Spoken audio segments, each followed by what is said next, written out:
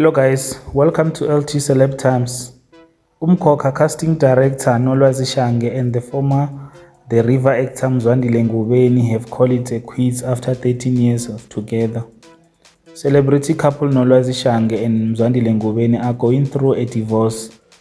The news was confirmed by Shange in an interview with Zimoja, where she revealed that she and the former The River actor are in the final stages of their divorce process.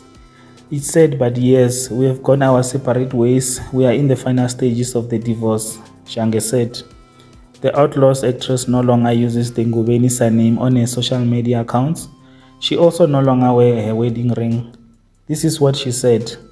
We have been together for 13 years with children. We came to the decision together to separate amicably. I mean, this is the person I once loved and cared deeply for. I will never want to go into details about what happened and paint him in a bad light. I always want him to be great and do well, and hopefully, one day he finds love again and for me to move on. Thank you for watching. Please subscribe to our channel for more.